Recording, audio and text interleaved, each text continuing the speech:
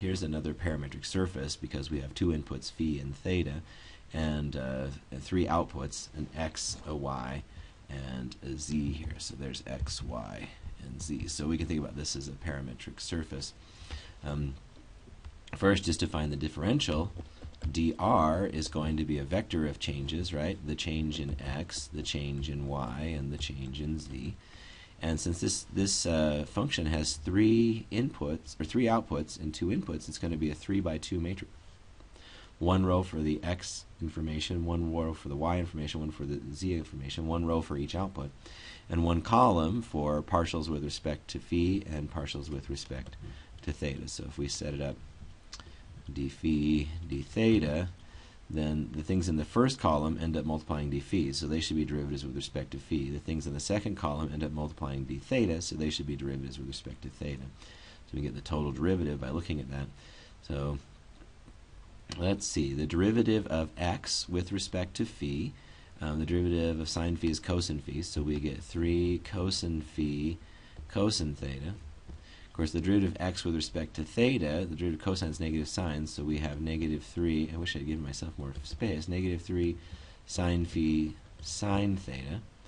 Um, the derivative of y with respect to phi would be 3 cos phi sine theta, and the derivative of y with respect to theta would be 3 sine phi cos theta. And finally, the derivative of z with respect to phi would be negative 3 sine phi. The derivative of z with respect to theta, well, z doesn't depend on theta, so that derivative is 0. okay, so um, there's our differential, right? It tells us if we make small changes in the inputs, approximately how will how, how will the outputs change. So that's our differential. So if we had measured phi and theta, but we had some uncertainty in the values of phi and, and theta, a little error in phi and a little error in theta, then we could do this matrix multiplication to, to approximate the error in x, y, and z. Or we could find the tangent space. So let's do that in this case. Find the tangent space. Since this is a surface, the tangent space would have to be a plane. It's going to be a flat surface.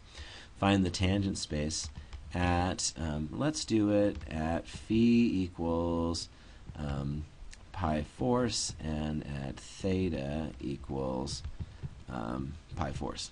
Okay. In that case, let's see, when phi equals pi fours and theta equals pi fours, then um, the sine and the cosine are both root 2 over 2. So if you take sine of sine root 2 over 2 is root 2 over 2, you get 2 over 4, that's 1 half. So the x value is 3 halves. The y value, um, sine of pi fours and sine of pi fours, again, that's, um, that's 1 half. So we have the y value is 3 halves. And the z value is 3 times the cosine of pi fours is root 2 over 2. So 3, so z is 3 times root 2 over 2. So we can find now the the equation of the tangent space. as we think about the change in x, that would be x minus 3 halves the change in y, y minus 3 halves, and the change in z, z minus 3 root 2 over 2 is going to be equal to our total derivative matrix evaluated at our particular location. Um, cosine phi times cosine theta, since both angles are pi fours, that's going to make 1 half. So we have a slope of 3 halves and then negative 3 halves for the slope here. This number turns out to be 3 halves, and that number turns out to be 3 halves because root 2 over 2 times root 2 over 2 is 2 over 4, that's 1 half. And then we have negative 3.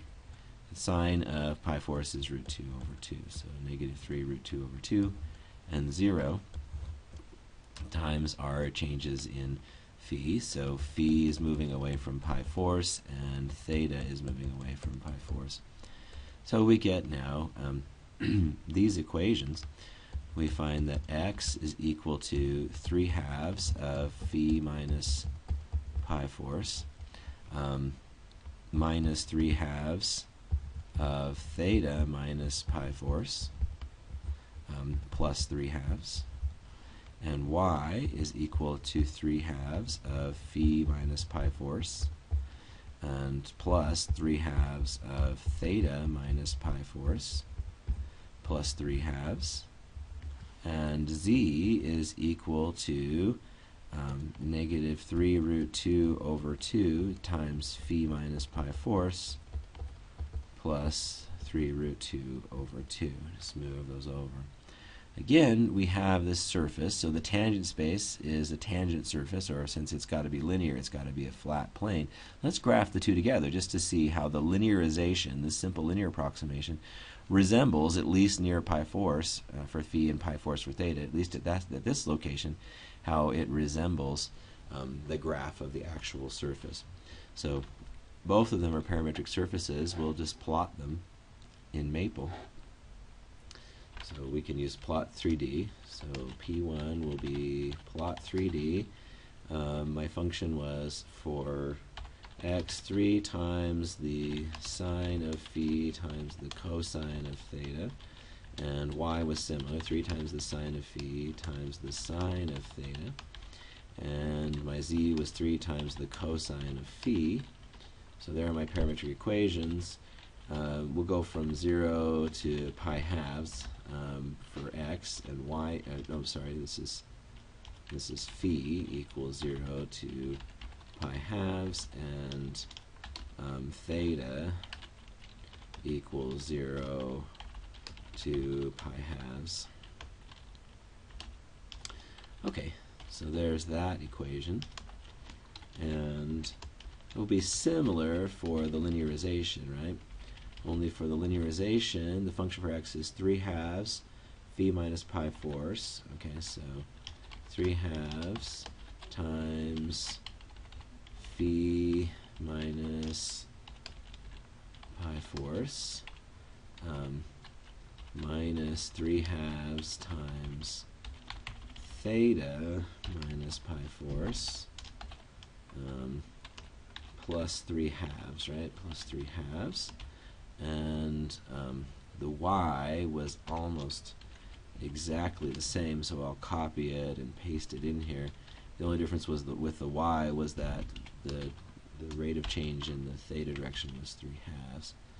And then on the z the z was somewhat similar huh? we had 3 times the square root of 2 over 2 times phi minus pi 4 so the derivative in the theta direction was 0 and then I think we had 3 times 3 times the square root of 2 over 2. Okay, so same ranges will work. Let me just check this. Oh, negative, negative 3 root 2 over 2 and plus, yeah, so that should be negative 3 root 2 over 2. Okay, once we have those two plots created, we can display both parametric surfaces together in one plot. Hmm, I'm missing, uh, oh, an extra parenthesis there. Uh-oh, another extra parenthesis. Uh, another extra parenthesis. Okay, now it's happy. There we go. Ah, we see, yeah, this was a parameterization of a sphere. You kind of recognize the polar coordinates in the form. So the actual surface was a sphere, and this is the tangent plane when the tip out angle is pi fours and uh, the angle theta is pi fours.